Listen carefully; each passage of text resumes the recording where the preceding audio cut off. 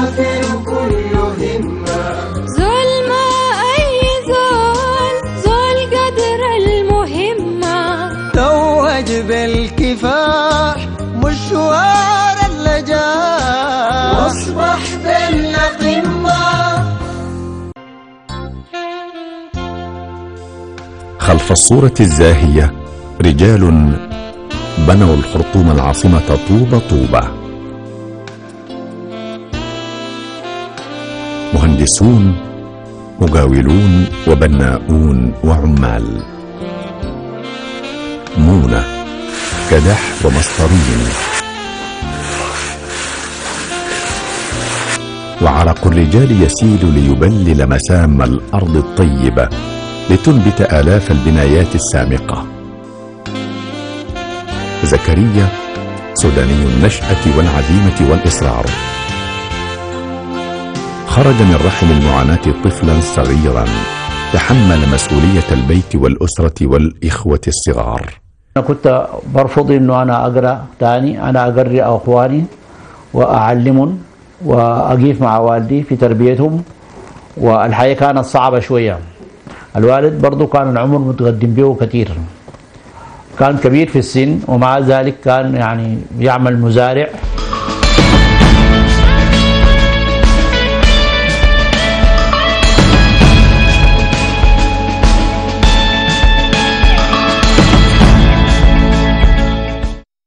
عمل زكريا الطفل في كل شيء ليعين والده على تربية إخوته الصغار. صناعة الحبال طلبة جرسون صب التجارة. فالعمل هو قيمة تربوية ينشأ الناس على حبه وقناعتهم راسخة بأن من كد وجد. كنت يعني الصباح طبعا أمشي المدرسة بجي من المدرسة أطلع الملابس المدرسة واخد الشنطة وبطلع النخيل أقلع حاجة اسمها الشميك. الشميك ده بيتمسر وبيتفتل حبال. اقلع الشميك في الفترة بتاعت الغيلولة بتاعت الوالد. اخد الشميك بتاعي ونتغدى ونطلع نخش الزراعة على أساس إنه احش القش للبهايم. خرج زكريا اليافع إلى وسط السودان إلى عضبرة ومنها إلى شرقه في القضارف ثم عاد رجلا إلى الخرطوم ليمتطي صهوة جواده الناجح في مجال البناء والمعمار. قبل وفاة الوالد انتقلت إلى عطبرة مع خالي وكان مصر إنه أنا أواصل التعليم وأنا كنت مصر إنه آه، أساعد الوالد في تربية الأسرة. فعملت أول عمل عملته مع مقاول كان ماسك شغل للجيش واليوميات بتاعته كانت آه، 11 قرش وتحط ال- ال- القدح بتاع المونة في راسك وتطلع به في السقالة وتمشي تكب المونة للبنا. في قهوة مشهورة في سوق آه، عطبرة اسمها قهوة ودلبيه قهوة ودلبيه دي مشيت اشتغلت فيها جرسون لفترة بسيطة بتاعت ثلاثة شهور. منها آه، خالنا ده آه، أصر عليه إنه أنا أمشي أتعلم التجارة مع واحد صاحبه في القضارف. اشتغلت أول شغل مع مع الحكومة تقريبا هيئة توفير المياه والتنمية الريفية عمال مؤقتين المبلغ لميته كان مبلغ محترم جدا ونزلت به الشمالية حلحلت كل المشاكل بتاعت الأسرة؟ يحتاج الناس للقدوة لمن يفتح مسالك العابرين إلى محطات الحياة العامرة. لرجال آمنوا بأن النجاح يكمن في الصدق والتوكل على الله رب العالمين. وزكريا اليافع حينها وجد من يضع خطواته على طريق الحياة الطويل. طبعا يعني أخونا زكريا بعد العمر ده كله وجاء إلى الخرطوم ويعني تعلم مهنة هذه المباني آه، من عمه واجتهد إلى أن بقى مقاول كبير جدا جدا يشار إليه بالبنان. يعني عمنا ده ما قرأ لكن اشتغل في المقاولات. دي أول حاجة بنيان بنيان العمل. ولحد الآن ظاهر الساعة الموجودة في أم درمان في المج... في ال- المحلية. البنيان ده بانيه هو بيده. بانيه هو بيده. باني عمارة لمحمد حسين في سوق درمان وعمارة مشهورة وكبيرة. عمارة بانيها شنو؟ بيده. تعتمد المشروعات الخدمية عموما ومشروعات البناء والمعمار على الصدق والإخلاص والأمانة لأنها تتحمل مسؤولية حياة الناس وسلامة الأرواح. مهنة مهنة عظيمة جدا. ومهنة يعني حساسة كمان في نفس الوقت. ومهنة بترتبط بالأمانة وبالصدق. إذا أنت أخلصت فيها بتديك أنت بتمشي لقدام. إذا أنت أهملت واشتغلت شغل أي كلام ما بتمشي معك. إطلاقا ما بتمشي معك ولا بتجابه. آه عنده أوجه كثيرة العمل بتاع المقاولات. في نوع منه بيجي الزول. يعني لصاحب ال- الزول الداير يشتغل بيقول له أنا بمسك منك كومبليت بسلمك البيت ده جاهز تسليم مفتاح. هنا بتظهر الأمانة وبتظهر الصدق. آه في ناس بيقوموا يقاولك ويحاول يجيب الحياة الرخيصة على أساس إنه هو يستفيد أكبر مبلغ. وفي ناس بيشتغلوا بالأصول الصحيحة.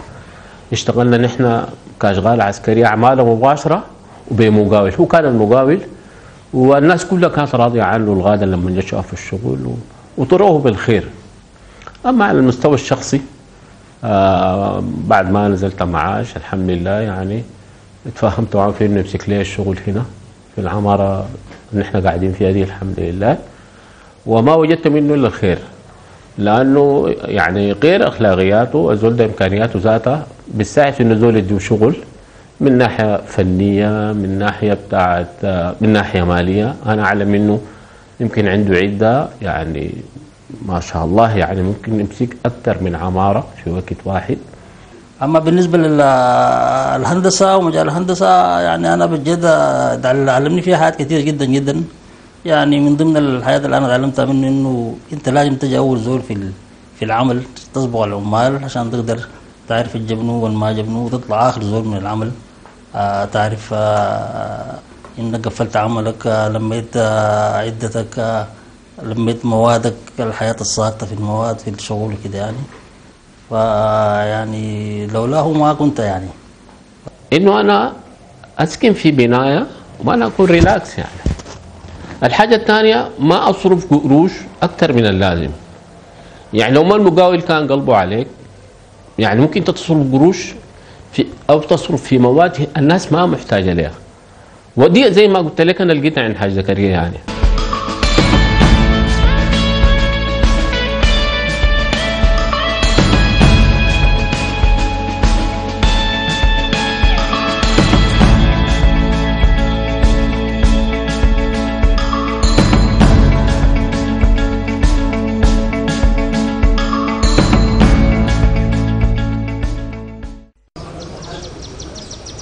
نفذ الزول زكريا عشرات المشروعات الخدمية والمنازل ومباني المؤسسات العامة عبر بكل التقلبات والتحولات السودانية ليجلس اليوم ممسكا بكتاب إنجازه بكل فخر وإعزاز وهو يتصفح أوراق عطائه العظيم.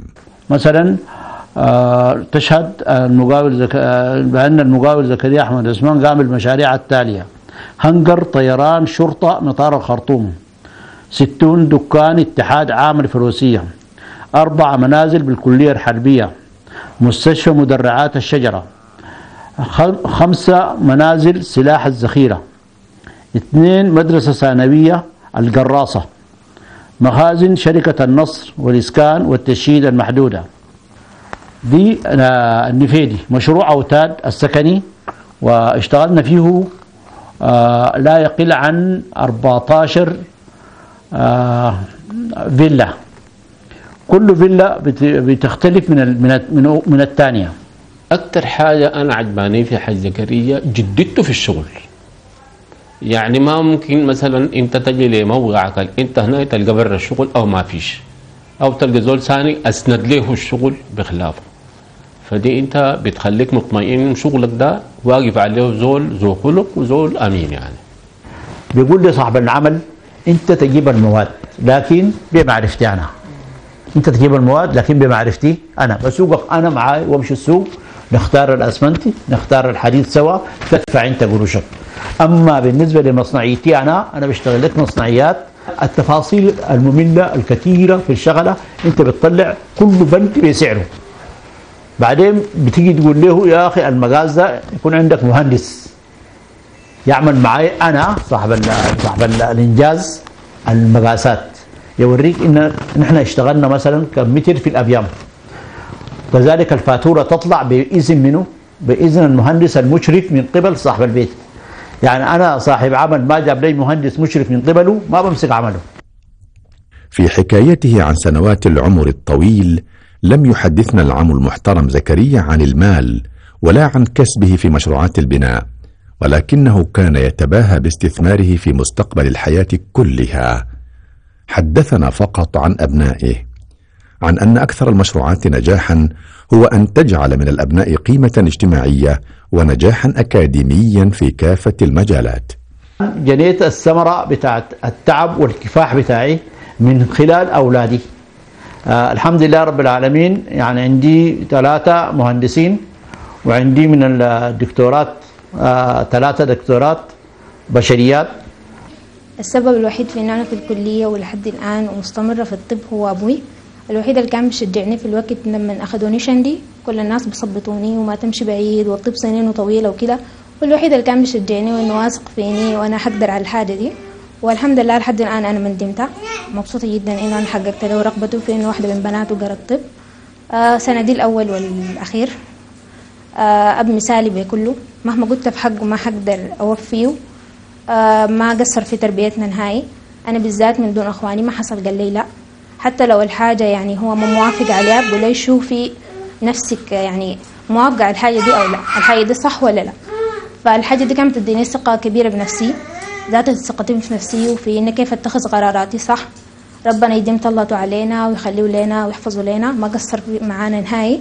ربنا يطول في حياته إن شاء الله يا رب. الحمد لله رب العالمين. يعني آه أنا ما عملت قرش لكن بنيت رجال. بنيت رجال بجد وبكد والحمد لله كلهم الآن ناجحين في حياتهم.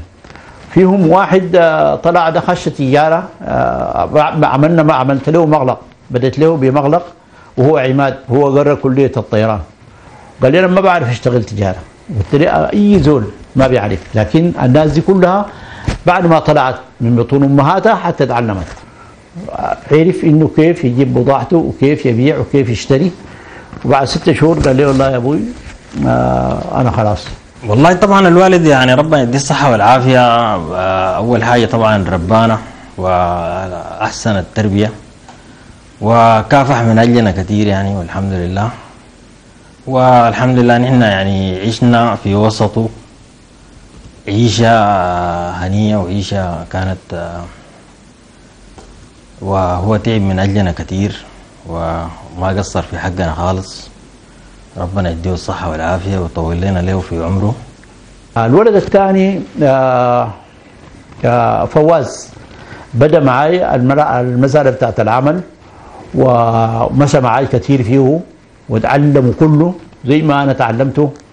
السبب الرئيسي يعني في إنه أنا ادرس الهندسة هو كان آه، الحاجة اللي أنا شفتها في الوالد وحبه لش- لشغله. ده اداني دافع كبير في إنه أنا أدرس الهندسة وإنه أنا أجيب جنبه في العمل وأساعده يعني. فكان ده سبب رئيسي في إنه أنا أبدأ آه، أدرس الهندسة يعني. والحمد لله رب العالمين توفقت فيها يعني. هي أنا بديت ال- ال- المجال العملي قبل الدراسة. الوالد ربنا يديه العافية والصحة يعني علمنا أحسن العلم وربانا أحسن التربية. فيعني كنا في الإجازات آه، زمن في الابتدائي وكده. وفي الثانوي في الإجازة ما كنا نقعد في البيت يعني كان بيسوقنا معاه والعمل. يعني علمنا المسؤولية من إحنا صغار شديد يعني إن الواحد لازم يكون مسؤول ويعتمد على نفسه. عندي طبيبة اسمها هبة دي أخصائية بتاعت آه، آه، آه، علاج طبيعي. عندي واحدة هسه في جامعة شندي لسه ما تخرجت بتقرأ في كلية الطب جامعة شندي وتقريبا في السمستر الخامس باقي لها عام واحد للتخرج بتاعها. عندي البنت الكبيرة قاعدة أكبر واحدة أول واحدة. دي أنا طلعتها من الثانوي العالي وتزوجت وطوالي زوجها ساقة وداها كندا. ومن هناك برضو الطموحات اللي شافتها فيني أنا ابتدت هي تقرأ. تقرأ في كندا لحد ما خشت الطب ولحد ما تخرجت طبيبة.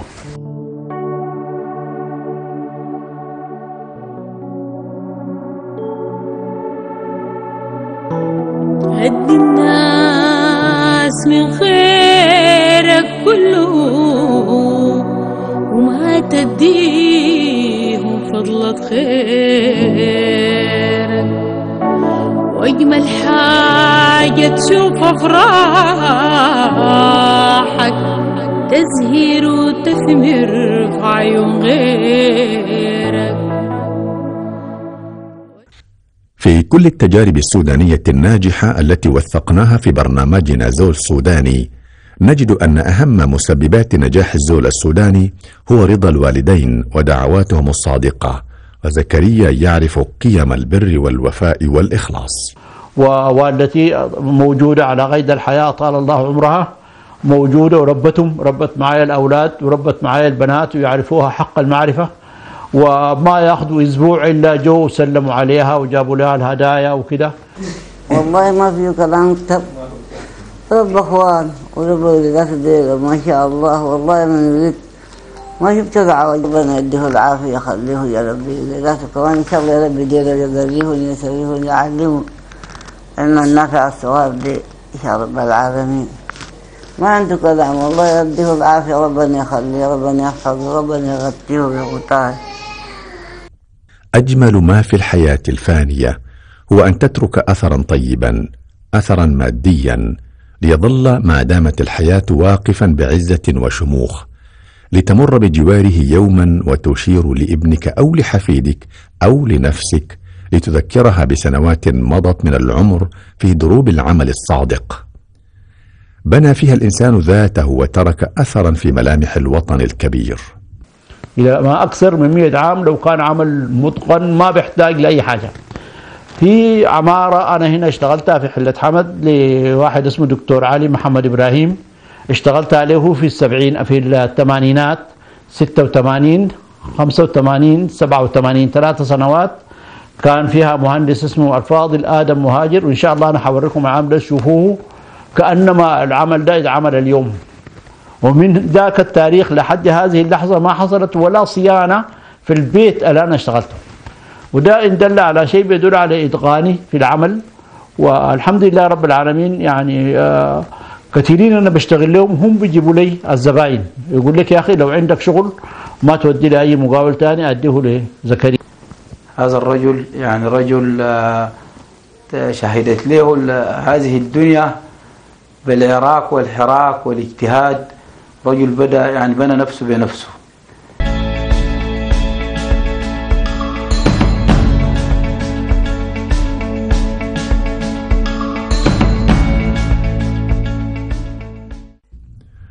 يعيش العم زكريا أحمد عثمان محمد صالح يعيش الآن بحلة حمد بمدينة بحري. يعيش ممتنا لسنوات الحياة الطويلة. لا شيء غير المسجد والأسرة والأبناء والحلم السوداني الصادق. بأن الغد طيب ومشرق بإذن الله. البيت والعمل والصلاة. بنيت على الثلاثة أشياء دي. أهم حاجة من أهم الأشياء بتاعتي ثلاثة حاجات. ما أواظب عليها وما في حاجة أبدا بتخليني أنا أغيرها. وما عندي يعني زي الناس مثلا أصحاب وكده عندي بس عمل. عمل عمل. جيت من العمل جيت البيت. عبادتي. ما عندي خلاف كده. شكرا لك جزيل. إلى هديتنا قيمة ووريت